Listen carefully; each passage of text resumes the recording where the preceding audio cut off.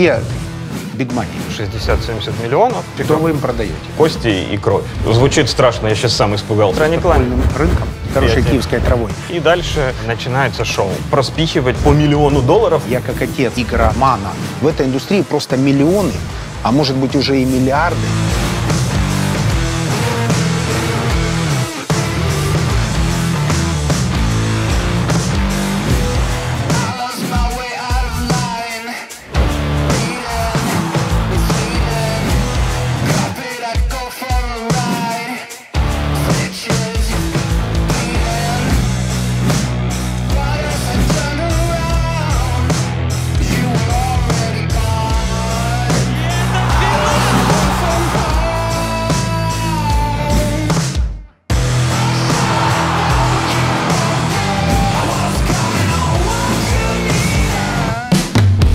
Лазебников, управляющий партнер киберспортивного медиахолдинга Vplay eSports, управляющий партнер технологического холдинга ТЧИА, эксперт в отрасли IT-интеграции, разработки ПО, киберспорта как бизнеса и создания дата-центров, инноватор.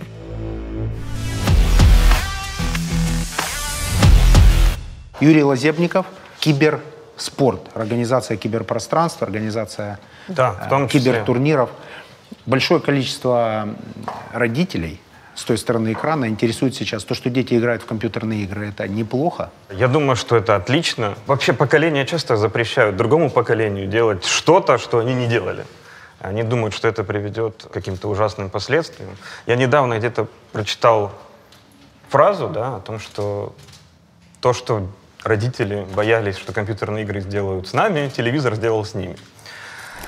Это не относится там ко всему сообществу нашей планеты, но к некоторым отдельно там взятым местам, где медиапространство там особо контролирует общественность, это вот, ну, впрямую относится. Чего боялись там родители, да? В том, что человек не будет ничем больше интересоваться, в том, что вся его жизнь будет только в мониторе, никакой физической активности, никаких романтических отношений, там, у парней девушек, у девушек парней, ну, на самом деле, кто как любит уже выросло, на самом деле, два поколения, которое играло. Если говорить про западную цивилизацию, там, Соединенные Штаты, где игровой бум, он вообще начался в 70-е и 80-е, то, наверное, уже там третье поколение растет, которое играло, которое было геймерами, которое собиралось на киберспортивные чемпионаты еще на таких консолях, как помните, там морской бой был у нас и все остальное. Я Ну, все с этими, помню, с этими об этом штуками. обязательно А, задам вопросы. И волк, который с корзинкой там ловил Да, ну, яйца. который был разработан компанией Nintendo, а потом повторен, да, электроникой. Как показала практика, ну вот стоят люди, которые выросли, которые играли в компьютерные игры. Маленькая деталь. Когда мы смотрели телевизор, или поколение, которое было за нами и смотрело телевизор, там не было соревновательного контента.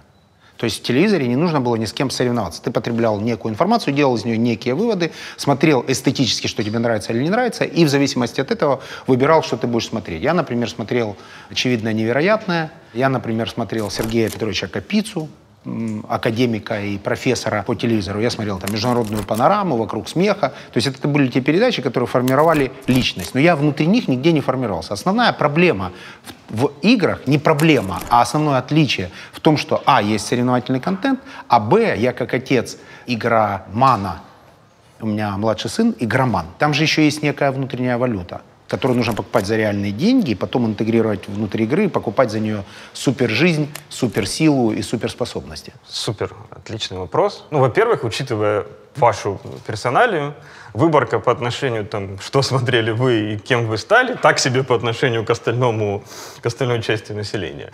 Многие смотрели соревновательный контент в телевизоре в том числе и в большей части, а не научно-познавательный. Второе, сейчас это одна из главных ошибок, которые часто задают люди, которые, ну, в принципе, начинают интересоваться вообще, что такое киберспорт. Они путают игровую индустрию и киберспорт.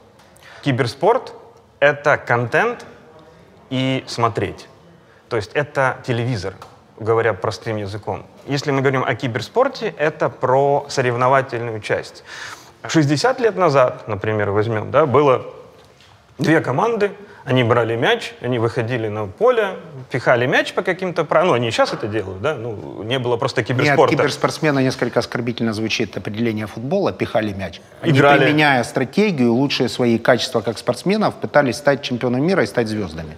Я не знаю, как было 60 лет назад, просто современный футбол, я знаю, радикально отличается от того, что было там в середине 20 века. Только цифрами и скоростями. Ну и, наверное, качеством игры тоже. Да, но это, смотрите, это между нами бесконечно действующий конфликт людей, которые любят реальный спорт, и тех, которые любят киберспорт. Вот в том-то вопрос, что это не надо разделять. Просто к тем людям, которые раньше бегали на траве, добавился еще один вид спорта, в котором площадкой выступает виртуальное поле. Эмоции настоящие. Боль от поражения не менее страшная, чем в настоящем, ну, в физическом Радость спорте. от победы. Радость победы такая же. Финансовая Призовые мотивация. ну, где-то больше, где-то меньше, но, насколько я знаю, там в Интернешнале, это турнир по Доте 2, сейчас призовой фонд на следующий Интернешнл 35 миллионов долларов уже. Много, мало, наверное, по сравнению с футболом мало, да, по сравнению со многими другими видами спорта Но Ну, с учетом динамики, я немало. так предполагаю, что киберспортсмены через 3-4 года будут приблизительно оплачиваться так, же, как Роналдо и Месси. Не думаю, но думаю, что лет через 7-8, да.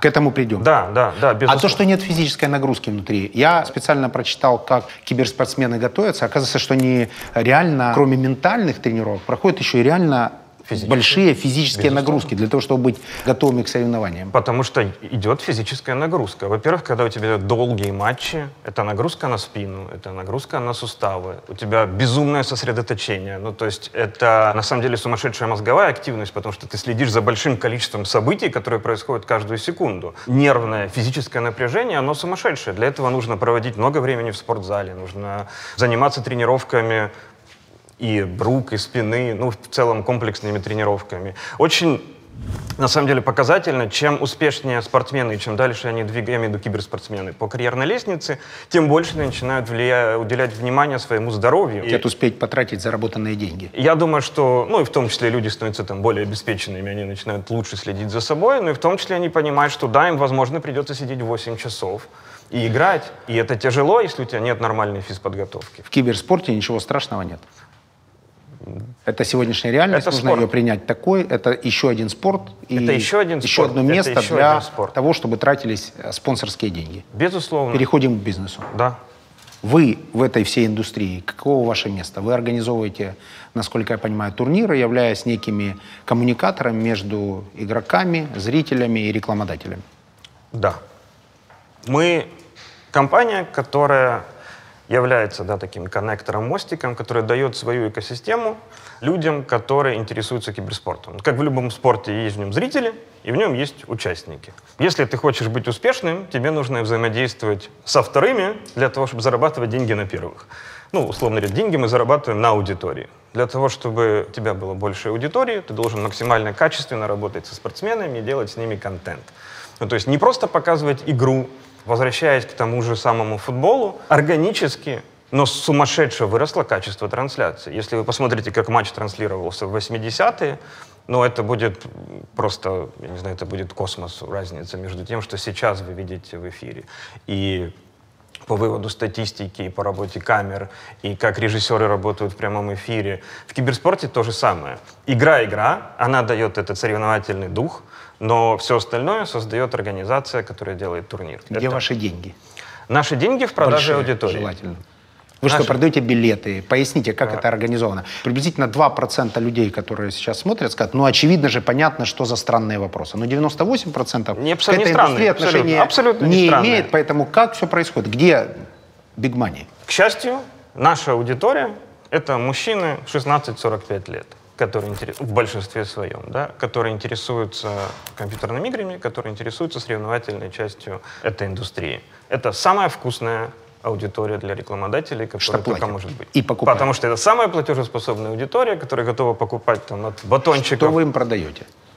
Мы им продаем то, что хотят наши спонсоры. Ну, при нас спонсорами были Макдональдс, у нас спонсорами Пепси, а у нас спонсорами, безусловно, являются беттинговые компании, которые продают им усиление духа соревновательного во время, во время игры. Ну, Боюсь любом- спросить, что это такое. Беттинг — ставки. Компании, которые... Нет, что такое усиление духа? То есть они могут поставить сами на себя? Нет, они могут поставить на ту кома- команду, за которую они болеют. Соответственно, как только ты какое-то количество долларов поставил на матч, там, на события в матче, на команду, ну, в принципе, обычно Ты выпьешь смотри- больше пепси-колы и съешь больше гамбургеров. Э, Понятно. Задор у тебя появляется чуть больше. А вы что, подбираете аудиторию, а с этой стороны договоритесь о рекламных контрактах? Мы подбираем команды, мы предлагаем турнир. Наверху стоит дисциплина, да, то есть киберспорт это очень всеобъемлющее понятие. Это, как сказать, спорт, да. А какой спорт? Гольф, футбол, там разные спонсоры, да, там разная аудитория, там по-разному это смотрят. Точно так и киберспорт нельзя так, ну, вы там киберспортом занимаетесь. Ну, киберспорт, но в киберспорте есть дисциплины, как и в любом другом По индустрии. идеологии игры, что стрелялка, Да. стратегия. Абсолютно верно, да. По идеологии игры, по графике игры, по региональному ориентированию. Например, там вот в Азии более популярны игры с чуть более мультяшной графикой. Да. В нашем регионе там вот популярны более такая четкая, более красивая картинка. Например? Например, Dota 2 и Лига Легенд. Да, то есть две игры, которые выполняют, по сути, одну и ту же цель. Ну, то есть это Battle.net Arena. Это суть игры у тебя начинает одна команда в одной части карты, вторая команда начинает в второй части карты, 5 на 5, ну и задача друг друга, собственно, победить. Идеология в играх и правила практически идентичны. Ну, с минимальными различиями. Чуть-чуть там по-другому могут выглядеть какие-то способности героя. побеждает? Анимация? Ну, Да, побеждает идеологический подход к подаче информации. Да, то есть, как, в принципе, и во многих других индустриях, там, той же самой FMCG, некоторые батончики внутри содержат очень похожие компоненты. Ну, только один оформлен по одному, другой оформлен по-другому. Точно так там азиаты любят какую-то анимешную историю, когда у них там мишки бегают на единорогах, оставляют за собой кучу радуги. Это прикольно. Да, а в Китае, например, вообще запрещено показывать там кости и кровь. Да, в играх этого не должно быть. Поэтому в силу там У определенных... нас игр- разрешено, и вы это показываете. Мы показываем все, что не запрещено. да. То есть это максимально жесткое сражение двух команд, которое ведет к полному уничтожению и, как следствие, победе. Звучит страшно, я сейчас сам испугался. Ну, вообще, есть. да, в этом есть суть спорта любого. Как есть это определение человека. Задача размазать, размазать конкурирующую команду, да, и победить, и выиграть собственно, призовой, как в жизни, как Если в спорте. убрать цветочки, то как в бизнесе все, на самом деле. Хорошо. Вы что? Вы договорились со спонсором? Да, так вот, вернемся. Мы определили дисциплину, которая интересна, в которой мы понимаем потенциал. Там, например, у нее есть там аудитория 400 миллионов человек по, по всему миру. Мы свяжу- связываемся с лучшими представителями командами и говорим, смотрите, вот будет выглядеть турнир, вот такие даты, вот такая тематика, вот такой призовой, а вот такие условия. Да? То есть до всей пандемии там, и закрытия границ мы собирали команды в залах, приглашали зрителей, это была сцена. Ну, это было нормальное спортивное мероприятие. Сейчас мы делаем это онлайн, но это и наше конкурентное преимущество по сравнению с другими видами спорта. Команды говорят, окей, нас устраивает, или какие-то команды говорят, нет, нас не устраивают. Если команды из разных регионов, мы их делим на дивизионы из-за особенностей индустрии, того, что интернет, ну, должен быть пинг, latency, оно должно все быть такое, чтобы оно не влияло на качество игры. Так, съехались они сюда. Съехались, да, Вы- и играют. Билеты Билеты. аудитории. Билеты и аудитория — это одна статья. Это если оффлайн. Это если оффлайн, и не обязательно сюда съехались, это куда угодно. А, вы съехать. организуете не только. Мы, мы организовываем, мы вообще организовываем по всему миру. Где был последний турнир? Последний турнир был в Киеве как раз. Да? А Потом- предпоследний? А? В Буковеле был, А в предпоследний? Предпоследний был в Киеве. А пред предпоследний? Нет, мы сейчас Из-за начинаем- пандемии? Хорошо. Да, где, да. по-другому, где кроме Киева были турниры еще? В Шанхае были турниры, да. И сейчас будут турниры в Лос-Анджелесе, начиная с ближайшего времени. Я думаю, что в следующем году мы начнем проводить турниры в Сан-Паулу, в Бразилии. Физически, я имею в виду. Пока де-факто мы проводим даже американские квалификации американского дивизиона, мы проводим онлайн, ну, по факту, то есть команда в Киеве, но играют они в Америке. Когда смо- смотрим, попал ли наш выпуск в тренды, мне все время Оля сообщает о том, что мы в трендах, но мы на третьем или четвертом месте, потому что на первом месте всегда какие-то онлайн-игры с миллиардом, квадриллионом, триллионом просмотров. Это вы? Нет, мы не, мы не игры, мы киберспорт. Ну, киберспорт, это они. Это проводится некий турнир в онлайне, и там квадриллион просмотров. Они с запасом. Ну, то есть, если мы попали в тренды, у нас, например, в прямом эфире 10 тысяч, в трендах YouTube в этот момент в прямых трансляциях, например, 120 тысяч. Ну, я думаю, что здесь речь идет как раз там типа о PewDiePie и о похожей истории, да, это больше о не о киберспорте, а об игровой индустрии, когда популярные блогеры, они играют в игру, записывают это, выкладывают, это очень ресмотрибельный контент, поэтому он и набирает такие просмотры, да. В чем его секрет? Смотреть, как другие люди играют в компьютерную игру. Но в чем секрет смотреть, как другие люди играют в баскетбол? Бери мяч, иди играй, что ты сидишь дома? Это ж вот, в принципе, работает на том же самом уровне. Это спорт. Тебе интересно посмотреть, кто выиграет. И очень важный момент в киберспорте, если я вижу, как Месси бьет мяч, Черта с два я пойду во дворе сейчас его так ударю. А если я вижу, как там, не знаю, команда Нигма, например, провернула интересную историю в прямом эфире в Dota 2, я подметил, говорю, ребят, а пошли сыграем. Прямо сейчас. Прямо сейчас. В этом я могу секрет. в этом, в То этот есть можно, момент не вставая из кресла, тут же сразу принять какие-то моменты профессионалов, применить, отточить свои навыки и прийти на про-сцену.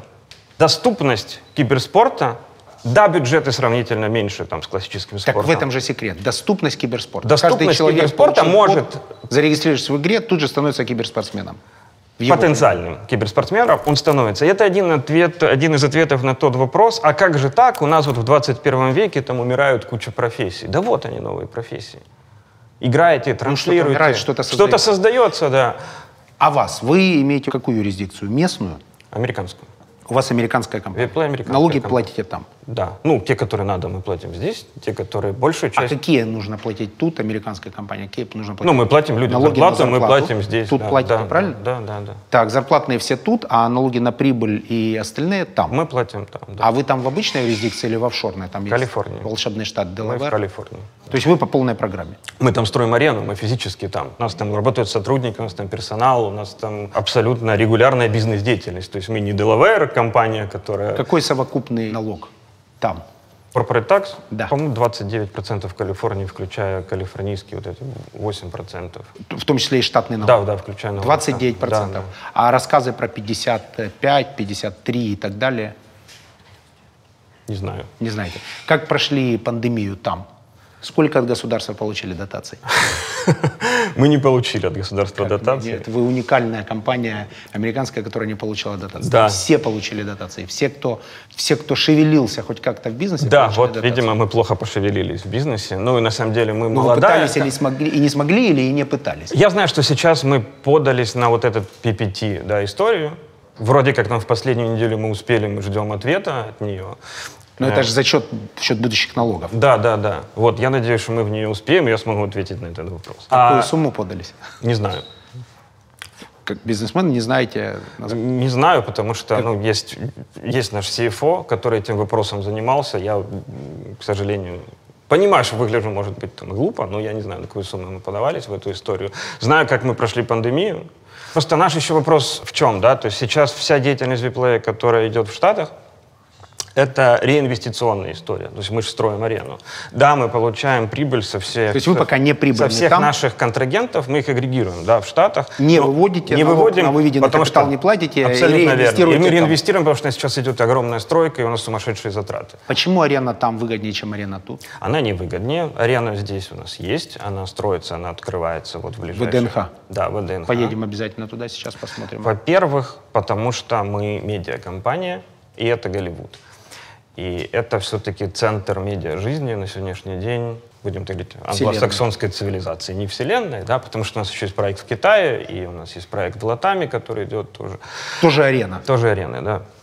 То есть Киев, Лос-Анджелес и Сан-Пауло Сан-Пауло, Бразилия и Китай. и Китай сейчас мы решаем... Четыре арены. Да, четыре арены на, сегодня, на сегодняшний день запланированы. Почему LA? Потому что, во-первых, командам очень тяжело логистически перемещаться из Соединенных Штатов в Европу, а мы хотим все-таки быть международной киберспортивной организацией, и это очень важно иметь на подхвате площадку, которая готова принять ребят на том континенте. Им не надо ехать там из Сиэтла, из LA куда-то в Киев, и мы можем собирать там дивизионы, это все транслировать, продавать контент.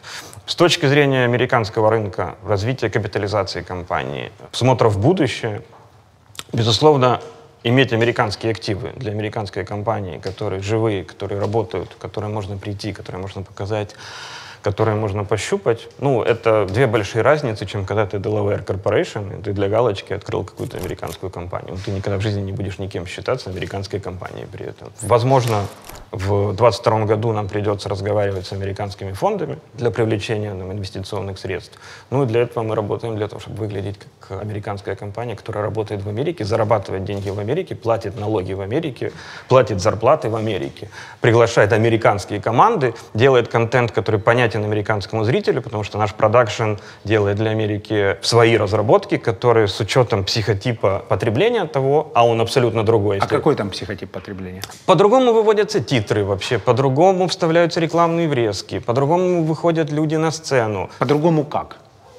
Просто по-другому. Ну, то есть если более где-то красочно, где-то более размашисто, где-то менее, возможно, по, с европейской точки зрения меньше стиля, да, и больше кича какого-то вот такого вот, оно, больше экспрессии, больше эмоций. Оно все всегда великолепно, прекрасно, офигенно, супер круто. И если это очень плохо, это просто хорошо, да. Ну, то есть, опять же, это особенности работы с талантами, с комментаторами, с аналитики. Это всегда взрыв эмоций, который разносит стены, да. В Европе это чуть более сдержанно. Это всегда может быть с каким-то больше намеком на европейский стиль, на такой вот у нас есть тут свой вкус. Вот мы вам подаем информацию вот так, мы титр выводим так, чтобы он вам не мешал смотреть, например, основной контент в этот момент, а не так, что он у вас появляется там на весь экран в этот момент, и там какие-нибудь А чипсы отсутствие рядом с ним. киберспортсменов, например, из Китая и из Америки? Отсутствие где? Отсутствие разницы ментальной киберспортсменов есть или она присутствует? Вот киберспортсменов или организации, у вас же аренды в разных местах, например, в Бразилии. То есть как вы планируете управлять людьми с разными ментальностями? На самом деле, то, что мы протестировали, мы берем нашего человека, которого мы выращиваем здесь, из нашего либо C-левела, либо доверенное какое-то лицо, которого мы знаем несколько лет, с высоким уровнем доверия, и базово натаскиваем его на этот рынок. Ну, то есть это либо язык, ну, там, с Америкой чуть проще, да, там, с другими странами чуть тяжелее, там ты это закрываешь переводчиком, и он становится неким мостиком Транслятором вашей корпоративной и культуры. дальше Так его задача назвать? создать, да, Подобрать там подобрать там профессионалов, которых он 100% контролирует. Дорогих, лучших на рынке, которые понимают этот рынок уже там под кожей, да, которые там выросли, и которые знают все там от цен подпольного рынка, да, там, до кому, кому с, как- с каким вопросом можно подойти, где, Вы в какой стране кланяться. подпольным рынком? Мы пользуемся это в идеологии подачи информации, потому что когда мы подаем контент, мы должны чувствовать аудиторию. И если мы делаем, например, концепт андеграунд, это должен быть андеграунд, за который нас потом не примут за непрофессионалов. Если мы, например, делаем бразильский андеграунд, это точно не немецкий андеграунд. Это свои какие-то шутки, это какой-то свой подход к созданию сцены, это какая-то своя романтика вокруг этого, которая нам непонятна и которая может рассказать только человек, который там вырос, и сказать, ребят, вот так не делайте. Но мне очень не хватает Конотопского, потому что он мне все время переводит с современного IT-языка, могу так сказать, или геймерского языка на э, понятный мне язык. Сегодня он выступает на форуме Big Money, поэтому я вот э, мучаюсь без него, поэтому буду требовать дополнительных пояснений. То есть, правильно ли я понимаю, что зрители не придут на ивент, если он будет сделан не в их стиле. И вы, в зависимости от стиля Сан-Пауло, Киев, Лос-Анджелес и Китай, определяете стиль ивента. Мы оп- определяем стиль подачи. Это как можно провести аналогию. Если смотрите какие-то сериалы, то вот бывает, ты включаешь сериал, и тебя подхватывает, и ты начинаешь смотреть. Бывает, ты включил сериал, понял, что нет, с первой серии ты это смотреть не будешь. Задача делать такой контент. Мы же делаем не один турнир, мы делаем не час трансляции. Мы Так делаем... как раз сериалы и унифицируют э, зрителя, как мне кажется, потому что сериал там «Миллиарды» или сериал «Во все тяжкие», их смотрят как раз во всем мире, или сериал «Наркос». Те сериалы, которые как раз глобализируют понимание о игровом кино. Безусловно. Так я же про это и говорю. Сейчас я закончу мысль. Есть сериал, который получился, да, потому что миллиарды, несмотря на всю, например, свою направленность на недоступный для большей части планеты мир, он подает это таким языком, который людям не Понятным. противно смотреть. Во-первых, то есть они не испытывают ненависть Раздражения э, к Бобби. Аксельроту. Абсолютно. Не То есть они Скорее интересны- даже любовь. Да, ну при этом они еще испытывают любовь и к остальным, Такую. да, и к, к к остальным участникам забега. Там. И это именно сделано так, что учтены особенности аудитории. Ну, то есть, если бы там показали стопроцентную правду, да, как это происходит, то, скорее всего, была бы какая-то злоба, ненависть, и опять там на нас зарабатывают, или опять какая-то такая история. Мы делаем контент, где бы мы его не делали, может, возможно, неправильно поняли, мы делаем все равно глобальный. Но адаптируете Но его место- адаптируем его, то есть это должно быть, базироваться как на настоящих событиях. должно Если мы подхватить- берем наркос, мы должны залезть под кожу Эскобара, понять, как это было, а не сморозить какую-то глупость, которую я прочитал там в- у какого-нибудь блогера, где-нибудь на, у русскоязычного ютубера, например. И тогда я буду выглядеть глупо. И это есть как раз необходимость доносить настоящую историю из региона, а делать это можно, когда у тебя есть оттуда настоящие люди, которые понимают все, не только там белые воротнички и галстук, потому что жизнь не в этом большей части населения любой страны. Ну и рынок формы 2. Могу Да, так э, да. закончить эту часть? Да. Еще раз, ваши деньги, мы потеряли ответ на этот вопрос. То есть вы соединили в одной арене киберспортсменов, вы построили арену, вы соединили киберспортсменов, зрителей и тем, кто хочет зрителям что-то продать, ваши зрители платежеспособные люди. Вы что, берете процент, продаете билеты, на этом зарабатываете? Тяжело, скорее всего, будет заработать на киберспортсменах. Вы берете на спонсорах, вставляете свой определенный процент. В чем ваш заработок? Где деньги? Что определенный процент? Мы просто продаем рекламу за деньги. Особенности, конечно, в каждом регионе. Вы продаете свои. просто слоты. Мы продаем и слоты, и иногда это модель revenue share, ну то есть когда с нами делятся когда с нами делится прибыль, а иногда это совмещенная модель, то есть когда давайте мы вам заплатим, например, там 100 тысяч долларов, там остальное там мы сравним, там, например, там конверсию. Там, Конкретный кейс. Я рекламодатель, хочу прийти. Пришел, вернее, к вам и говорю, знаю у вас Сан-Пауло-арена, меня интересует местная аудитория, понятен местный колорит, он меня устраивает, мне нужна местная публика. Я хочу у вас купить что? Время внутри трансляции, он офлайн объявление внутри арены, что продажу некого продукта на мероприятии, Вы покупаете проявление в эфире, да? Ну, то есть нет разницы, говорим мы там о телевидении, там классическом, там об интернете, мы продаем проявление в медиа, да? Ты э, спонсор, который приходишь, там какой-нибудь, там, не знаю, бренд кроссовок, например. Я хочу product placement, я хочу, чтобы таланты бегали в моих кроссовках, там, ну, и комментаторы, аналитики бегали в моих кроссовках по сцене. Product placement Окей. продаете. А мы хотим строить наши кроссовки в игру. А можно такое? Можно, но дороже. То есть мы можем сделать модель кроссовок, мы можем поместить в некоторые игры это в середину, и там чуть ли не персонажи игры будут в этих кроссовках бегать. Мы хотим упоминания там в эфире, вот приблизительно с такими там слоганами о нашем бренде. Окей, это тоже можно. Мы хотим брендирование арены там с таким-то количеством баннеров. У нас это работает больше понятийно, ну, я имею в виду в нашем регионе, в том числе европейском. В американском регионе все чуть-чуть проще, да, потому что если здесь мы приходим, приходим и торгуемся, да, там, а заплатите там нам вот 80 тысяч долларов там за неделю эфира, там за рекламу каких-нибудь батончиков, например. 80 тысяч долларов за рекламу батончиков. Да, ну это приблизительные цифры. Я считаю сразу в уме, сколько батончиков нужно продать за неделю рекламы. Ваши что, киберспортсмены, они батончики едят? Безусловно, тоннами, я думаю. Наверное. Ну, раз э, это интересно рекламодателям. Не считайте в Украине, считайте по всему миру. Это же всемирная трансляция. Да? Там от Токио до Гавайев, условно говоря. И покрытие идет таким... Вот Я сейчас внимательно посмотрел в глаза своему сыну, который говорит, что это так же здорово, как и играть в футбол на улице. Это я лично, извините, лирическое отступление. Продолжайте. Я могу сказать, может быть, там, крамолу, но человек, который играет в футбол на улице, вечером играет вечером в доту. И, в принципе, это, скорее всего, один и тот же человек.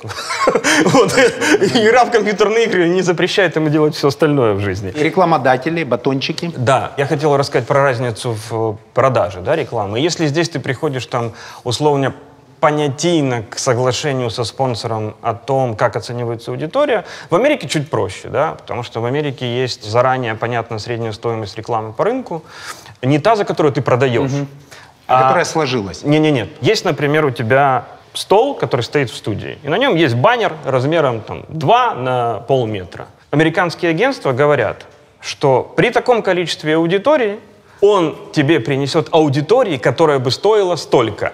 И если тебе предлагают дешевле, бери. Если предлагают дороже, думай. То есть вот эти рекламные фактически агрегаторы, да, через которые в Америке сейчас все рекламируются, где ты не идешь к какому-то блогеру, если тебе нужна реклама, ты приходишь, у них есть 250 блогеров, тебе говорят, тут так, тут так, тут так, тут так. Это рабочий инструмент?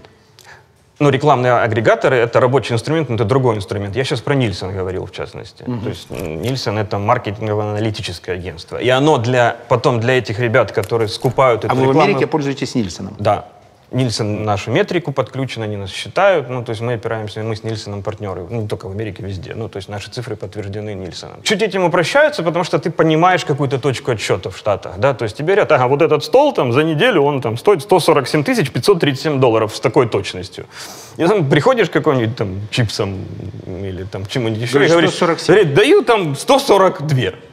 Там, это дешевле рынка. Смотрит маркетинг, говорит, ну прикольно, дешевле рынка, надо брать. Все равно мне аудитория нужна, она у меня запланирована, покупаю. Ну, а если даешь столько же, ну, надо думать. потому что, может, я куплю их где-то в, бо- в большем количестве, или мне предложили дешевле. Поэтому вот такие вот особенности э, с привлечением денег и с работой рекламы. Да, агрегаторы в Штатах работают намного более интересно, чем здесь. Там действительно деньги сконцентрированы в таких руках. Могу объяснить почему. Потому что денег больше обычно на нолик. Просто люди не хотят тратить свое время, чтобы распихивать по миллиону долларов в какие-то проекты. Они просто будут этим заниматься с, с утра до вечера, они с ума сойдут. Для этого они дают это какому, каким-то людям, которым они доверяют, и говорят, оставьте нам, например, вот этот бюджет, в котором еще на один Но нолик больше. там баллы, GRP какие-то, Да, да? да, А за этот бюджет мы там сами Супербол будем выкупать. Раз в год туда не лезьте, мы это там сами сделаем. Реклама в Супербоуле, по-моему, 30 секунд стоит. Последний раз стоила 8 миллионов долларов. по-моему. Там же она же еще с аукционом, по-моему, Да, она там потом что выкупается. потом, да. и там она в- может подорожать перед, э, в зависимости от прогнозного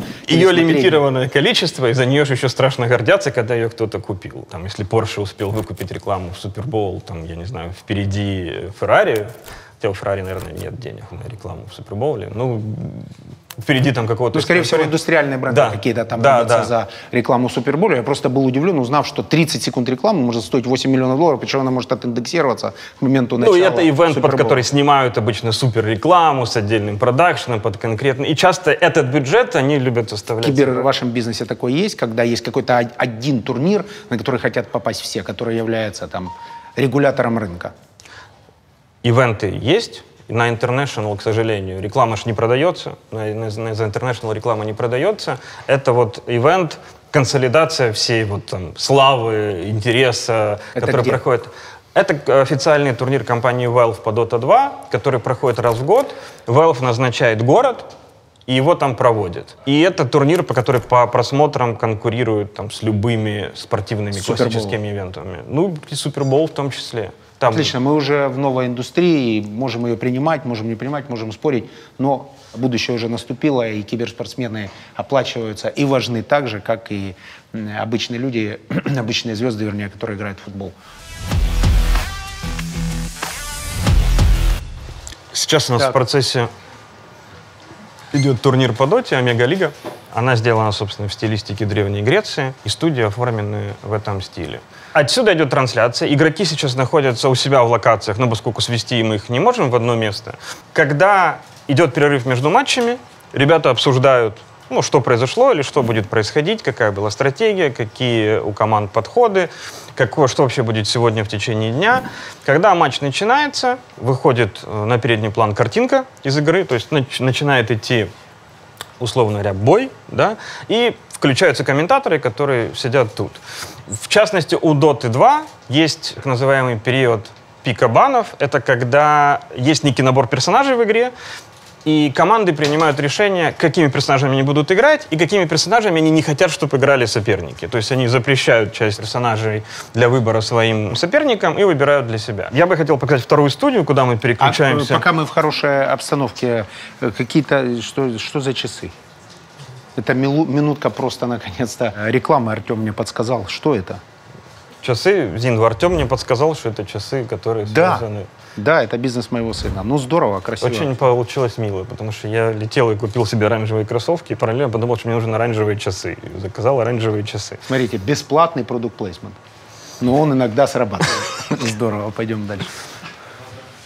Так, еще одна студия. Да, вон, кстати, дота идет. Вон А, идет это сам прямо процесс. сейчас, да? Аккуратно, не сломайте. Сейчас, смотрите.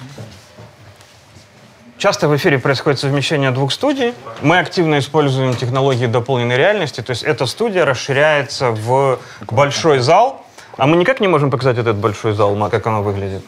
Совмещение вот этой студийной работы, она создает некую живость да, в кадре. То есть ты смотришь не просто компьютерную игру, ты смотришь общение людей, ты смотришь общение экспертов, какие-то шутки, какие-то эмоции жизненные, да, которые связаны не только там, с тем, что у тебя перемещаются компьютерные персонажи, а с тем, как эмоционально себя чувствуют игроки, э, почему они сделали выбор того или иного персонажа, э, как повлияла на них победа или поражение, какую они выбрали сейчас стратегию. Ну, то есть это контент вокруг игры, который как раз и отличает то, что мы делаем. Вот, вот эта студия, в которой мы были только что, которая чуть крупнее. Мы сейчас делаем переход, и вот мы попадаем уже в студию дополненной реальности. Это уже картинка, ну, впереди или там справа, ничего такого нету. Это место, где на Олимпе сидят наши комментаторы. Это физическая часть, в которой мы сейчас стоим. И вот сейчас начинается уже там небольшая магия кино, когда игроки начинают выбирать персонажей, которыми они будут сейчас играть, мы разворачиваем это все в новую студию дополненной реальности. Ну, погнали. Вот. И вот мы погнали в зону выбора персонажей. И там они уже начинают появляться на подиумах. Вот включился элемент из доты, наше программное обеспечение, которое связывается с игрой, достает оттуда эти данные и начинает отображать героев, отрисованных в другом движке компьютерной игры, более детальных, для того, чтобы можно было их захватывать камерой крупным планом. С этими героями мы можем работать как с нами, то есть мы можем к ним приближаться обычными камерами, да, то есть мы можем их показывать детальнее, можем показывать общим планом. В принципе, это такая же студия, просто которая в реальном мире не существует. Залипательная история, невозможно от первого взгляда. Это так все продумано специально, чтобы человек зашел и уже не вышел никогда. Да, мы хотим, чтобы между играми был контент, который не позволял людям уходить. И не хотелось им не уходить. А отслеживаете и глубину вовлеченности? Конечно, да, да. И приблизительно сколько в среднем человек сидит у вас? Ну, у нас остается... Понятное дело, что пик — это когда идет игра, да? Но благодаря такому подходу к контенту нам удается сохранять в паузах от 60 до 80 процентов зрителей. А сколько примерно они у вас проводят времени контентно, внутри контента? О, часы. Часы сколько? Шесть, семь? Ну, 6-7 часов в день могут проводить люди. Вообще, в среднем, понятное дело, что человек с- проводит где-то от 3 до 4 часов, ну, потому что это просто физически ему комфортнее. Он выбирает для себя матчи тех команд, которые ему интереснее, и он их смотрит именно в этот промежуток времени. Но когда идут игры там уровня финалов, например, Омега-лиги или уровня International, ну, люди могут сидеть неотрывно и смотреть это вот там, выбирать какой-то день, и это день, который они проводят вместе с этим чемпионатом. То есть это Услышал. А это сценарно как-то вы вот готовите? Это же Конечно, у нас сценаристы. большая анимационная работа. Это. И в том числе, наверное, психологическая, чтобы зацепить человека таким образом, чтобы он больше не вышел из... Мы применяем креативный контент, который никто не создает.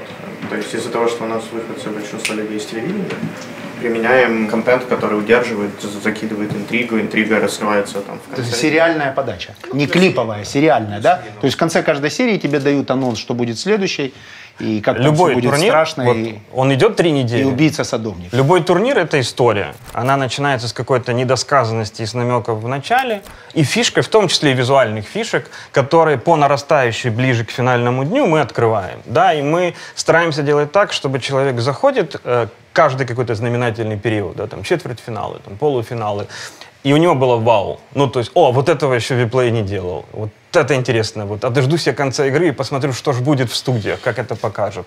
Вот это то, что нас отличает, на самом деле, от всего остального рынка. Так ключевая компетенция вот это и есть. Поэтому к вам едут, соответственно, рекламодатели, поэтому к вам едут зрители, идут, поэтому вам нужны арены. Вы просто пошли Да. дальше, увеличивая цепочку ценностей для своего Да, потребителя. просто мы увидим сегодня часть арены, и я думаю, вы поймете, когда этим технологиям ты добавляешь еще большую часть физических технологий, оно выглядит еще более масштабно. Если мы из ну, сравнительно столь небольшой студии выводим это вот в такой масштаб, то когда у нас есть наша арена и право привозить людей со всего мира, и их не запрещают да, там, въезжать или выезжать из их стран в нашу страну, это приобретает... Вчера Кабмин, вы знаете, Да, да, не, нет, в не Украине проблема. принял решение не пускать иностранцев. Но на спортивные соревнования разрешают. И налаживать оборудование после поста в Фейсбуке тоже разрешили, если есть приглашение. Да, да. То есть э, ни- ничего нельзя, но все можно. Да, как, как Любимое всегда. постановление украинского правительства. Но- Вообще-то ничего нельзя, но вот тут по пунктам все можно. Но, к сожалению, например, у Штатов более жесткая политика, да, и там привести там в арену в Лос-Анджелесе, это там,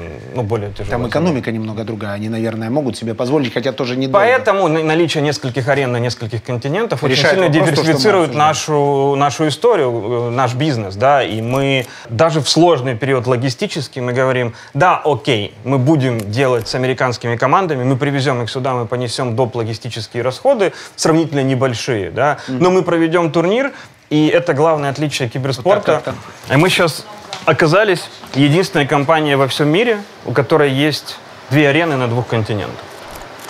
Единственный. Единственный, да. Своих арены. Не арендованных. А, А так, есть еще, а есть еще. Так выглядит аппаратное управление эфиром. А это, это управление маленькой студией и напротив... Это то, что мы сейчас видели, правильно? Да, да. Это то, что мы сейчас видели. Во всех фильмах же делают вот это движение. Могу Фейс, сейчас? да, можно на себя. На себя? Да. Ничего не сломаю? Ничего не. Оп, А вот. Так, и это мы Фейс. стартанули. Ну, то есть это когда нужно выйти через затемнение на другую картинку. Ну вот я уже и немножко киберспортсмен. Вот здесь, например, сидят... э, Специалисты занимаются сценарием анимации. Делается специальная залипательная, залипательная история сериальная, чтобы люди не выходили, поэтому они проводят 6-8 часов времени, когда играют. Ну, проводят любимые- они потому, что играют интересные любимые команды. да. Вы, соответственно, идете к рекламодателю и продаете им это время, в том числе и продукт плейсмент. Чуть-чуть добавлю детали. Наша задача, ну, то есть люди все равно будут смотреть спорт, да, то есть когда команда играет, вот там, как доту мы видели, люди все равно будут это смотреть, потому что это та самая соревновательная часть, это матч, да. Наша задача для наших рекламодателей удержать их в эфире тогда, когда нет игры, и когда мы можем передать какой-то посыл бренда, которым платит нам за это деньги. Потому что когда идет игра, ну, это не очень этично с нашей стороны запихивать рекламу в глаза зрителю, Тем не когда... менее, вас это не остановило в кроссовках. Не, не, нет, это не во время игры. Это предматчевая Внутри вся игры. история. Внутри игры. А но- внутри игры вы но продукт когда плейсмент не делаете. Мы делаем, но он вот там может занимать несколько пикселей где-то там на карте, или он может выйти вот такой вот плашечкой сбоку внизу. Потому что просто потеряете аудиторию. Да, потому что мы потеряем аудиторию, потому что мы этого не хотим Но делать. хотелось бы вам такую плашечку приблизительно. Нет, да? не хотелось бы. Нас устраивает то, как мы это делаем, и мы ни в коем случае не хотим... То есть не перегибаете палку. Нет. А скажите еще Мы подход к делаем- брендированию. Очень часто, когда много брендов, это такое превращается в братскую могилу брендов, когда перечисление идет 15 брендов. Вы, например, в одной категории берете двух рекламодателей? Но если они не покупают эксклюзив, то мы берем в одной аудитории нескольких рекламодателей. Мы можем бить их по языкам, по регионам, мы можем делать региональную историю, ну, то есть там на испанский язык один заходит, на английский другой, на китайский третий. Мы очень часто продаем медиапрова на регионы, те, те языков, э, те, те языки, которых мы не покрываем, да, и там ребята, которые купили медиапрова, они сами продают свою рекламу, они получают от нас видеопоток, качественный, Там да? что-то стреляет, по-моему, нет? И рушится. Нет. Это уже началось, Нет, нет? нет. Это все вот, это вот дергание, да, оно приводит, приводит. все имеет последствия. То есть нельзя нарушать тайный ход. э, Можно и нужно. Как? В этом и суть классного контента. Нужно нарушать тогда, когда этого никто не ждет. Пока мы о веселом, я обычно не говорю этого, но режиссер предлагает вам прочитать и сказать эту великую фразу. Да, Я- безусловно. Подписывайтесь, ставьте лайки, колокольчики, комментарии. И много раз делать. Зи- Зинова еще. Да, и вот у меня клевые часики. Yes. Так, самая продвинутая студия, заточенная под лайв-трансляции. Мы сейчас тут. Да, До момента запуска полтора месяца. да. Дам до Зона- старта полтора месяца. Аналитики на одном языке, зона аналитики на другом языке. Да. Панели, на которые выведены результаты игры. LED-панели, на которые выводится трансляция игр, на которых выводится дополнительная информация между матчами, результаты игр, счет. Вот это тоже LED-экраны, на самом деле они завешены сейчас. Это тоже экран, это не стена. И сюда будут... Тут сидят команды. Тут сидят команды. Играют команды. Играют, да. Они выходят на сцену, там жмут друг другу руки, производят какие-то ритуалы, там, приносят в жертву какие-то оригами, рассаживаются по местам, и дальше начинается шоу. Ну, то есть аналитики начинают обсуждать, кто в каком настроении, у кого какая тактика, у какая- какая стратегия, в зависимости, в зависимости от дисциплины. Безусловно, там идет какая-то работа с проявлениями спонсоров.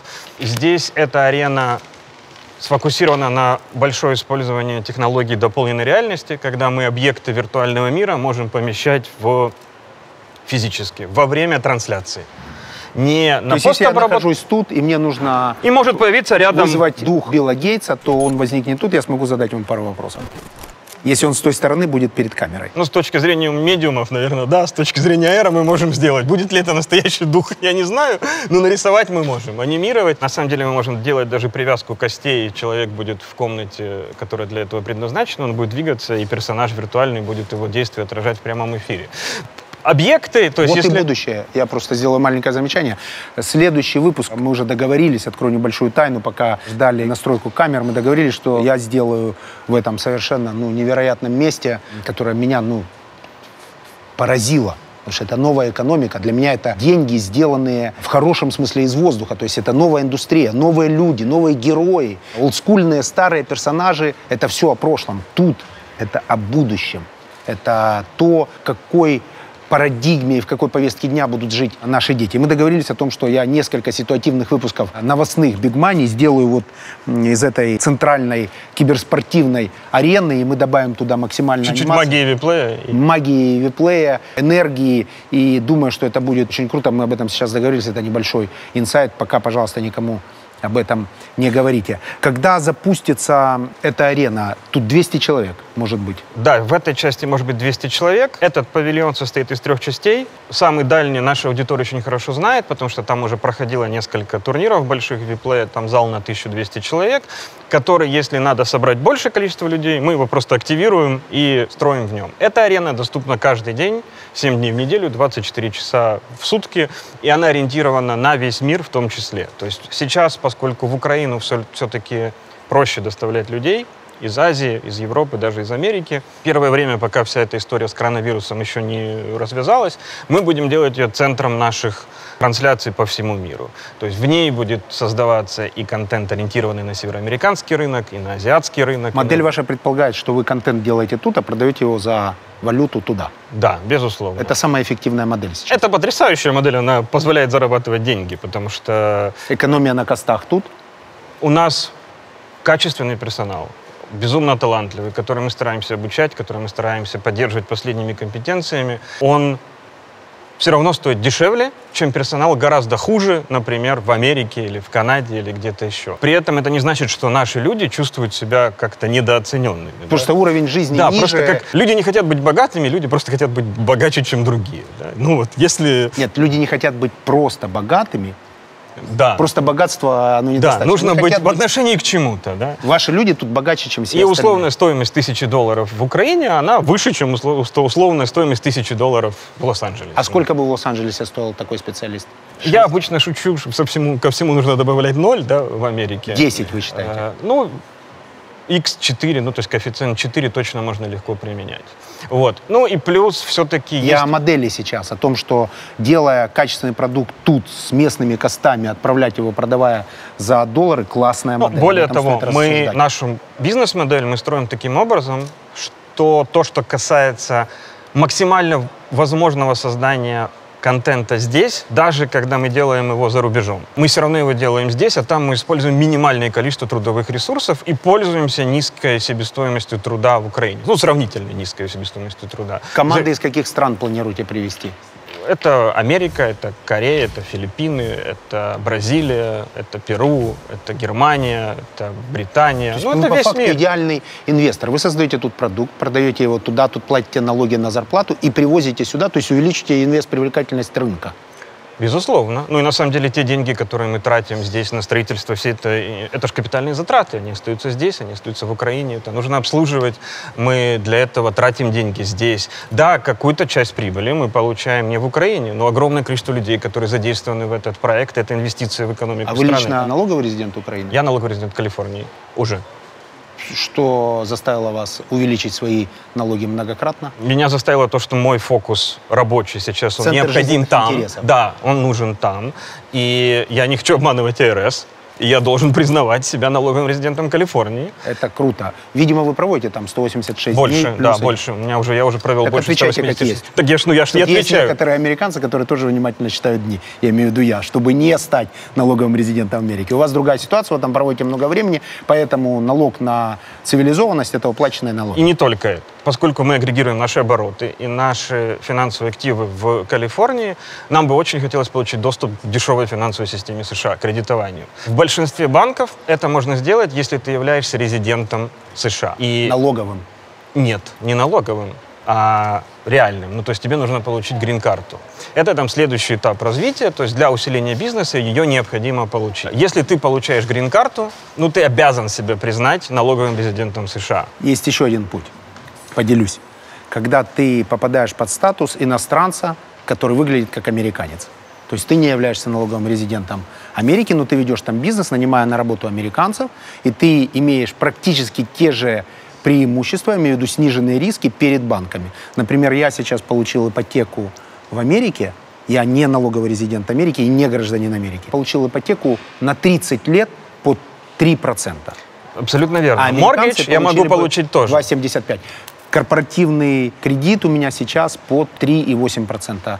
А В долларе это я считаю таким достаточно завышенным процентом, потому что мы там пользуемся определенными очень узкопрофессиональными А в каком соотношении финансовыми, финансовыми инструментами. 30-40? У нас очень маленькие соотношения и беды американской к долгу, то есть очень хорошее соотношение в нашу пользу. И я считаю поэтому, что мы сейчас приступаем к большому раунду переговоров с банками, чтобы существенно снизить процент Да. кредитования. Я э, эту историю прекрасно понимаю, и в Америке же этот пазл работает как чуть-чуть по-другому, чем в Европе. Ты, как собственник, неотделим от твоей компании.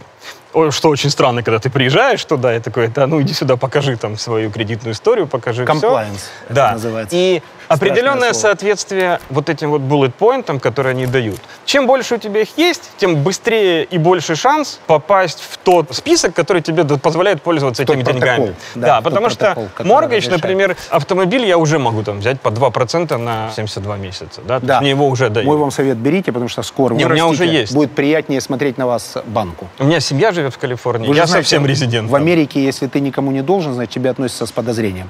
Безусловно. То есть ты должен быть всем должен, тогда ты добропорядочный. И как только ты посетитель. начинаешь брать первые кредиты, твоя кредитная история делает вот так, а потом, она растет начинает делать вот до так. максимума. да. У меня максимальный скор сейчас, как у заемщика там, я за этим внимательно слежу, потому что я вообще, в принципе, человек ориентированный на результаты. Поэтому я поставил для себя задачу иметь стопроцентный скор, что, в общем, тяжело для человека, который не постоянно Почти проживает в Америке. 800, да? 850. 850. 800, у меня уже сейчас 820, я очень хочу 850. То есть для иностранца это практически невозможно. Но тем не менее, я хочу быть настолько должным банкам, демонстрируя свою Лояльность. лояльность к экономической модели. И они там бегают, устроена. Евгений, возьмите, пожалуйста. У меня Да. сейчас, вы помните, что Америка это очень разная страна, одновременно это цифровая держава. Соединенные Государства Америки. Да, и одновременно это история, когда ты подходишь, открываешь ключом ящичек такой. Или выписываешь чеки приходит бумажные. Почта. Или бумажные чеки. Ну, почта. И там вот такая Да, да, да. Это еще посылок. если paperless у тебя подписан. Если Да. не подписан, то...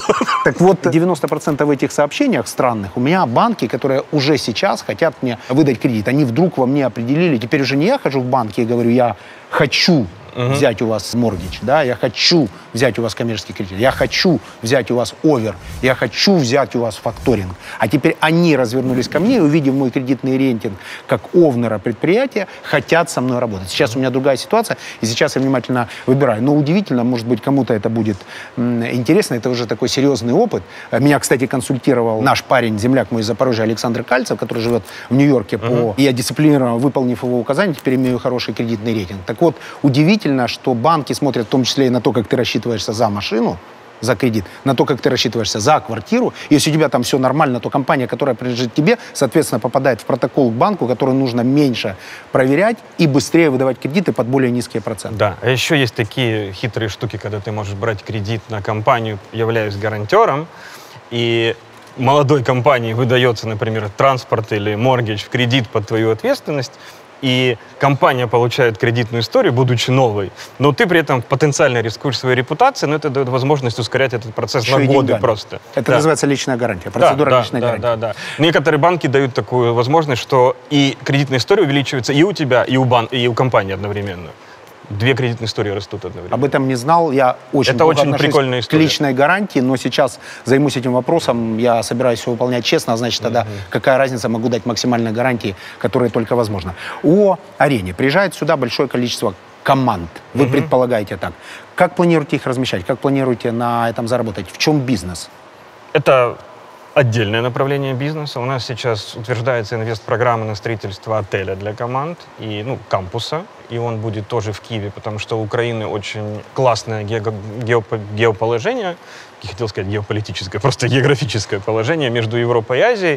То есть удобно там и китайцам, и корейцам, и японцам, как и европейцам останавливаться в Киеве между матчами для того, чтобы потренироваться, поиграть или передохнуть между турнирами. Тогда с учетом того, что мы на ВДНХ, рекомендую строить тут, чтобы ходили пешком в арену. Ну, мы сейчас если они ищем- попадут в киевскую пробку, то боюсь, что никакая геолокация не остановит их.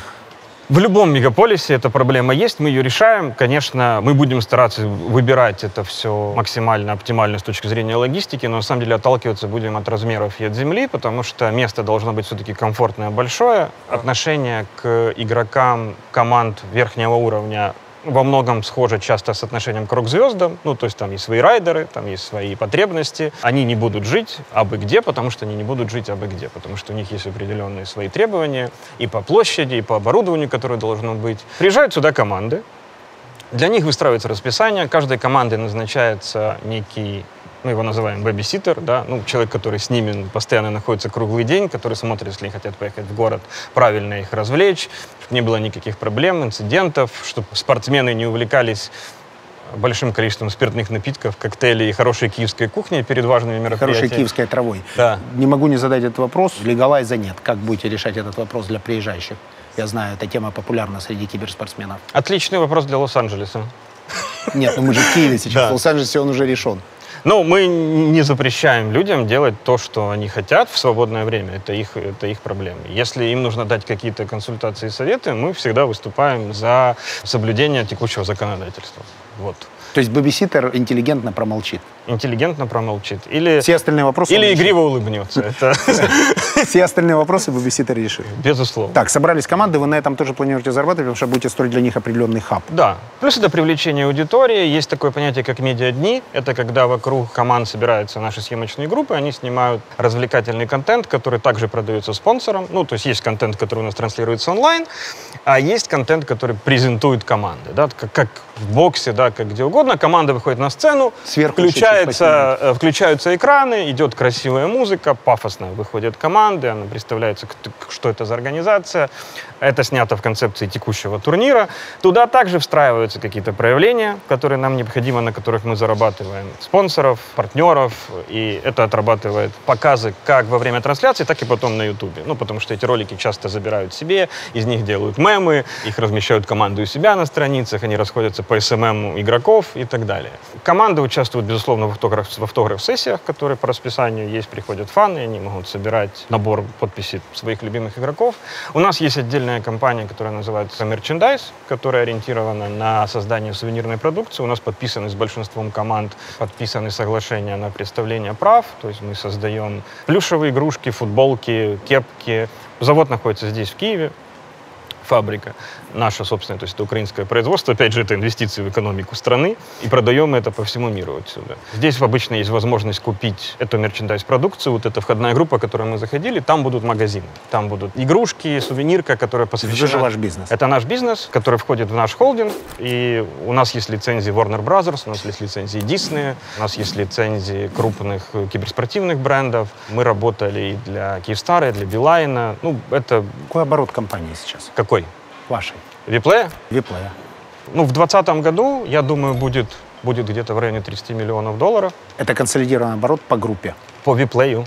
По, А по группе компаний? По ТЧЕ в этом году мы рассчитываем на 60-70 миллионов. Вроде как все говорит о том, что мы эту цифру выполним. Нет По ни одного повода про- думать, Нет ни одного не повода, да. То есть мы как-то очень правильно воспользовались ситуацией с пандемией. Хотел спросить, пандемия всех достала? Набор маразма мирового, который творится, решений правительств, причем во всех странах, нельзя говорить, что это в одной стране, но то, что чиновникам от медицины, Всемирной организации здравоохранения и прочим чиновникам выгодна пандемия, это уже совершенно очевидно, а значит, нам предстоит, к сожалению, огромному жить в пандемию. Вы как ее прошли? Есть какие-то, может быть, рецепты для людей, которые смотрят, как из проблемы сделать возможность? Так получилось, что в какой-то момент времени, весной, принципе, никакого спорта, кроме киберспорта, в мире не осталось. Привело это к тому, что сейчас еще не закончился август. Количество часов контента, которые мы сгенерировали уникальных, сейчас, по-моему, где-то 3700 часов, при том, что за весь прошлый год мы сделали 1900. Благодаря пандемии. Двукратный рост. Да, двукратный рост. Это, безусловно, сказывается на всем. То есть мы начали... Нам это обошлось тяжело в плане здоровья, напряжения, консолидации кадров, увеличения рабочих часов и всего остального, плюс строительство арен. Но мы этот темп держим. Мы сейчас делаем все для того, чтобы наладить качественную поставку персонала, того, который нам нужен во все наши мировые офисы. И я считаю, что в, конкретно с Виплеем мы пандемию прошли хорошо в плюс, и мы воспользовались этим черным лебедем. Я не знаю, если его можно называть черным лебедем. Для Именно черный, для вас белый, судя по двукратному увеличению. Да. Есть у нас компании, конечно, которые пострадали, да, то есть у нас есть бизнес, у которого синергия с Виплеем, мы управляем в больше, чем 60 странах мира, мы управляем киберспортивными кафе, компьютерными клубами. Там мы проводим турниры, там мы, собственно, занимаемся биллингом, это SaaS-решение, да, то есть оно работает по подписке, нам платят, мы контролируем, там, по-моему, сейчас это больше 40 тысяч компьютеров во всех странах мира. Конечно, когда ввели пандемию, закрыли компьютерные клубы, ну, потому что социальная дистанция, потому что люди сидят Ну, рядом. они переместились домой просто. Они переместились домой, но наши клиенты компьютерные клубы, и они нам платят за содержание своего бизнеса. Мы приняли меры, то есть плюс там в том, что это решение у нас, оно облачное, у нас не свои сервера, то есть мы когда отключили клиентов, ну, клиенты вышли с просьбой не выставлять им счета на время, пока они не работают. И логичный наш был ход вот с нашей стороны, поскольку мы не хотим потерять клиентскую базу, мы сказали, конечно, ребята, если во всем Казахстане закрыли компьютерные клубы, ну как мы можем вам выставлять счета? Мы же потом просто не будем иметь морального права к вам прийти и выставить там новый счет, когда вы откроетесь. Поэтому это привело к некому сокращению доходов компании. Это привело к тому, что мы чуть-чуть перефокусировали разработку, мы решили воспользоваться падением загрузки да, на то, чтобы ввести новый функционал, чуть-чуть довложили туда, реинвестировали денег из прибыли прошлых периодов. Сейчас начало открываться. Сейчас компьютерные клубы пошли открываться. совет при пандемии искать ту нишу, которая будет расти в момент не до карантина. У меня вообще такой совет не только во время пандемии. Мне кажется, в этом вся суть бизнеса. Ты смотришь на Стратегия параметры вокруг тебя, океана. складываешь. Да, Стратегия да, голубого стратегия голубого океана. Складываешь и получаешь результат. Традиционно для нашей передачи вопросы путь или результат? Путь. А результат? Результат достигается по мере пути. Ну, результата никогда не можно достигнуть. Когда ты достигаешь результата, он уже не устраивает. Нужен следующий результат. То есть это путь — это достижение результатов. Вы лично играете в компьютерные игры сколько часов в день? Я играю в компьютерные игры. Бывает, выходит игра, которая мне интересна. Я могу в ней провести 2-3-4 дня, раз в год, наверное. Ну, раз в год. Да. Ну, базовая игра какая ваша? У всех же есть базовая игра, в которой заходит ситуативно, насколько я знаю. Ваша базовая игра какая? Fortnite, я думаю. Ну, это та игра, которую из соревновательных, которую я захожу чаще всего. У меня в нее играет сын, ему 11 лет, да. Ну, и как бы мы с ним иногда играем вместе в Fortnite. Чтобы делать бизнес кибериндустрии, обязательно самому выглядеть и думать как киберспортсмен или киберпосетитель? Киберзритель. Чтобы делать бизнес, нужно думать и выглядеть как бизнесмен на самом деле. Вот. То есть, И мне в кажется, виду, они воспринимают инородные проявления, или это некая такая параллельная реальность, контркультура, которая существует, развивается отдельно? Ну, безусловно, ход мысли любого бизнесмена приведет к тому, что ему нужно нанять того, кого они воспринимают, как э, того человека, которого они В воспринимают. вашем бизнесе это вы или это В нашем парень, бизнесе у нас есть спорит? целый департамент, который мы называем комьюнити менеджеров, которые работают с аудиторией, с командами. Это много людей, это не один человек. Они специализируются и на регионах, и на командах, они То есть вы делегируете переговоры с командами им? Мы отдаем работу специалистам. Себя таковыми не считаете? Нет, В этом вопросе? Безусловно, нет. Ваше дело предпринимательство. Мое дело предпринимательство, мое дело, наверное, управление персоналом C-level а и мотивация их, опять же, нанимать специалистов, которые могут делать конкретную задачу. Оранжевые кроссовки Louis Vuitton. Да, Это отсыл к предпринимательству или к киберспортсменам? это случайная покупка в аэропорту во время пересадки. Эмоциональная. давайте Эмоциональная, эмоциональная. Я шел, и было нечего делать. Был открыт магазин Louis Vuitton, в который в Лос-Анджелесе попасть нельзя, а в аэропорту он был А открыт. в Лос-Анджелес нельзя попасть, потому что борются... Нет, потому что в Лос-Анджелесе попасть в Louis Vuitton, нужно записываться на два дня вперед. Потому что что? Потому что очень? Потому что потому они что держат социальную, социальную дистанцию, и они разрешают зайти, по-моему, только пять человек, и там ты записываешься и заходишь. И я померил э, кеды, и я понял, что я в них влюбился, вот как в них себя чувствует нога. И я говорю, так, я хочу их, я все, я их хочу купить. И это была очень эмоциональная покупка. И я сел в самолет и думаю, так, ну я купил оранжевые кеды, надо погуглить оранжевые часы. Эту И, за- да, и загуглил оранжевые, я загуглил оранжевые сейка, потому что у меня когда-то были сейка монстр оранжевого цвета. Мне выпали эти часы. Я их заказал, прилетел, они у меня были дома уже. Отличная моменту. работа SEO-оптимизаторов из Zinvo. Да. Можем так сказать. Да, да, да. Отлично. Можем показать вид, как построен скелет здания со стороны мостика. Сейчас снимем пройти. обязательно. Активно участвует в передаче, пытается пересмотреть план. Вот что такое предприниматель, да? Это, это антрепренерство, бизнес-антрепренерство. Показать свой бизнес с самой хорошей стороны. Классный навык, как и удача навык. Удача навык, она подлежит тренировке. Бизнес-удача. Ну, в том числе. В том числе. Я вообще не сторонник каких-то стопроцентных терминов. Да? Ну, то есть всегда есть определенная доля чего-то в чем-то, да, и сказать там, что это сто процентов там является одним, ну, такое очень редко бывает в жизни. То есть да. теория экстремумов не для нас. Теория экстремумов, для нас ее надо знать. Первый миллион. Да. Как? Когда? что произошло, какие трансфо- трансформационные изменения. Но это было достаточно плавно, то есть это не произошло резко, то есть это не было там какой-то выигрыша в казино, да, то есть это было, ну, наверное, года четыре, если не больше, нашей с партнером работы, которая потихонечку добавляла суммы к нашему обороту. Да? То есть вначале мы, это был где-то 2010-2011 год, там для нас было привычно работать там, десятками тысяч долларов. Да? Мы занялись IT, мы занялись интеграцией, у нас начали появляться хорошая репутация, клиенты там, из Сейшельских островов, из Мексики, консультации по строительству банков, страховых компаний. Потихонечку репутация росла, начали расти контракты. Мы начали зарабатывать какие-то деньги. Параллельно мы увлекались киберспортом. Это было хобби. Да? И мы инвестировали деньги в инфраструктуру, в офисы, в людей, в наем персонала, который даже когда ну, периодически был не загружен, но какое-то у нас было желание иметь эту инфраструктуру. Мы инвестировали в сеть компьютерных клубов, мы начали разрабатывать этот софт.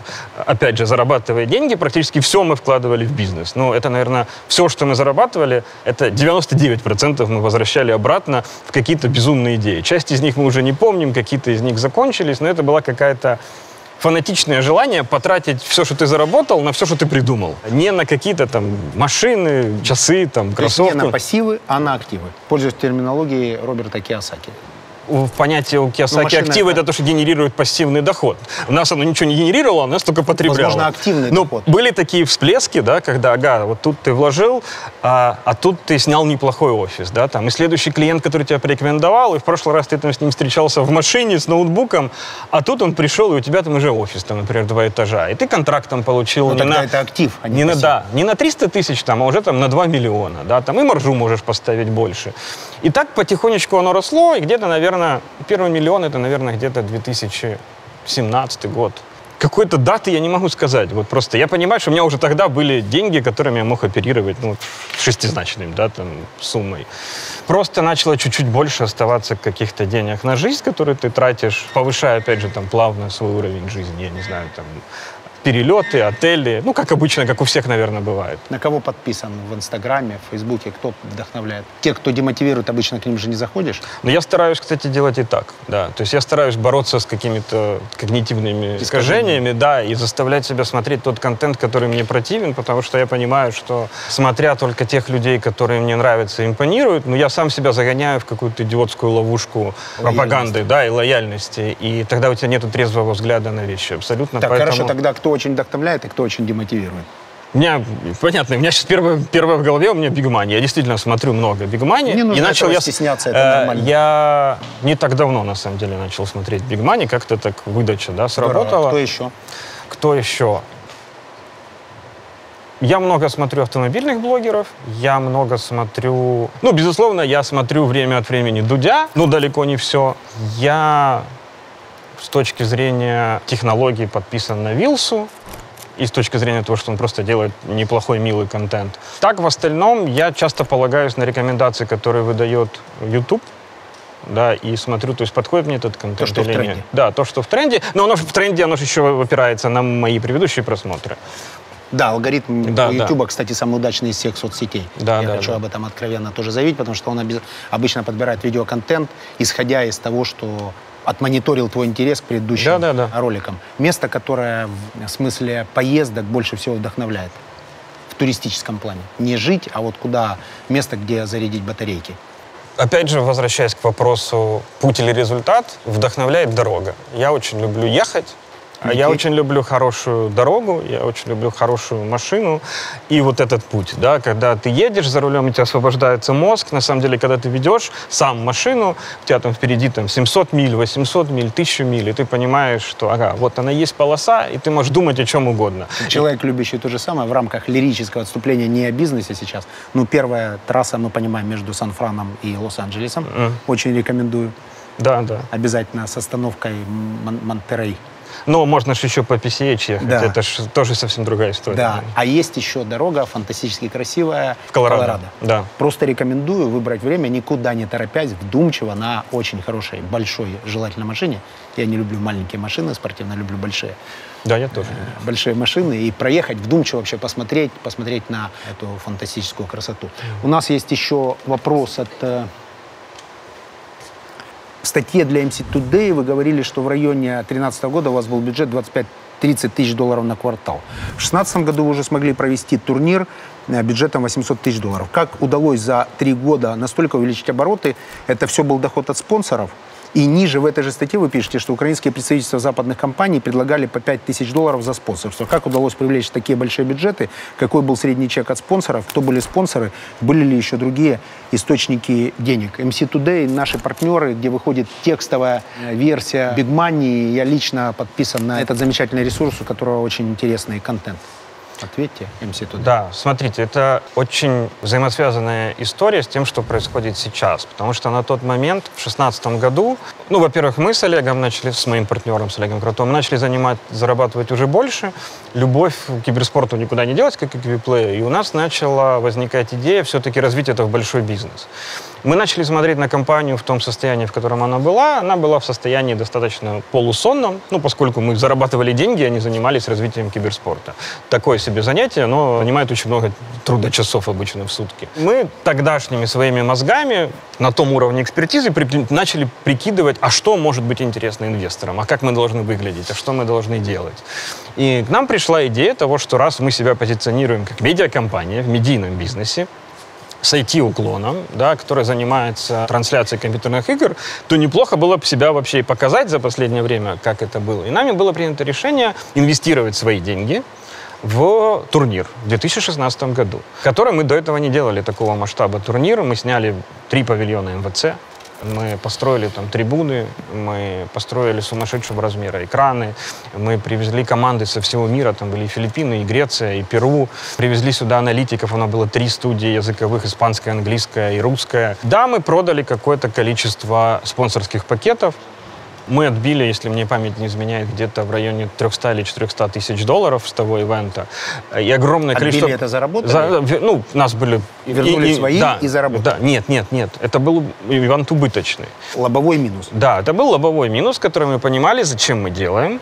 Для того, чтобы вырастить компетенции, для того, чтобы выйти на сцену. Для нас репутационно и с точки зрения получения знаний это был огромный плюс. То есть, по сути, мы не занимались глубоко развитием бизнеса несколько лет. Мы взяли какое-то количество денег и купили это время. То есть мы быстро научились, мы быстро вышли на сцену, мы быстро заявили, вот мы есть, мы сказали командам, да, Виплей, вот он опять здесь. У Олега сумасшедшая история киберспорта, мой партнер, он в этой индустрии, он с 2004 года, он там организовывал турниры, когда слово киберспорт не существовало вообще, это называли турниры по компьютерным играм. Запас Связи. 50 на 50 распределение. да, да. Запас репутационный и запас связей, он позволил сделать этот ивент быстро. Мы его провели, мы увидели, что индустрия растет, обратили на нее более глубокое внимание, мы понакупали То там за маркетинговых отчетов. фактически купили экспертизу. Да, мы купили время за деньги. Это самый, по-моему, дешевый способ купить время, который... Очевидно. Очевидно, да. Не все его понимают, но на самом деле, чем... После этого у нас ушло достаточно короткое время для того, чтобы развить Vplay в то, что он есть сейчас. Мы привлекали партнеров, потом мы выкупали долю. Ну, то есть мы прошли несколько, несколько этапов раундов в середине. Параллельно мы растили и свои доходы из других направлений, что позволило нам оставаться все время в большинстве в своем бизнесе. И вот так вот это ответ на вопрос про 16 год. Это была покупка экспертизы для Vplay. Внизу под вашей любимой передачей Big Money будет активное обсуждение. Да. Будут задавать вопросы предприниматели. Аудитория думающая. Выберите лучший вопрос. Что можете подарить, то, что дороже, чем деньги? Бонус какой-нибудь, ну, возможно, не знаю, пригласить в эту студию на открытие, возможно, проконсультировать, если кто-то хочет стать вашим конкурентом. В общем, что-то, что за деньги не покупается. Экспертиза или время. Мы готовы, я готов уделить время, я готов, если у человека есть интересная идея, я готов рассмотреть инвестиции в его проект в его идею. Э, Я готов, если она не очень хорошая, высказать аргументированную критику, почему не стоит тратить на это время. Если я увижу какой-то потенциал в человеке другой, я его с радостью передам нашим ребятам из других департаментов. Возможно, в человеке умирает комментатор, аналитик, маркетолог э, или кто-то еще. Я готов уделить час времени, послушать того человека, который этого будет заслуживать, и предоставить вот такие инструменты. Кто ноет бесконечно про какую-то пандемию, рекомендую смотреть супер мотивирующий контент вот э, в этой передаче. Вот можно бесконечно тратить свою энергию на то, чтобы рассказать, как все плохо, а можно прийти и сделать бизнес в новой экономике. Для меня пока не очень понятной, но это вопрос возраста. Те люди, которые сейчас находятся в этой повестке дня, для них огромные, просто огромные, неограниченные ресурсы в этом рынке. Просто нужно брать и делать. Тут в этой индустрии, насколько я понял, и то, что я вижу, понятно, тут есть какие-то огромные сложности и, и большие задачи, и на их решение требуются огромные компетенции, но в этой индустрии просто миллионы, а может быть уже и миллиарды летают в воздухе. Нужно просто уметь их анализировать, рисковать, строить вот такие студии, привлекать лучших специалистов. Тут в том числе э, у ребят работают и экспаты, что важно. В общем и целом, в очередной раз убеждаюсь, что кто не хочет, ищет причины, а кто хочет, ищет возможности. Big Money – передача о людях, которые постоянно ищут возможности и все время их находят.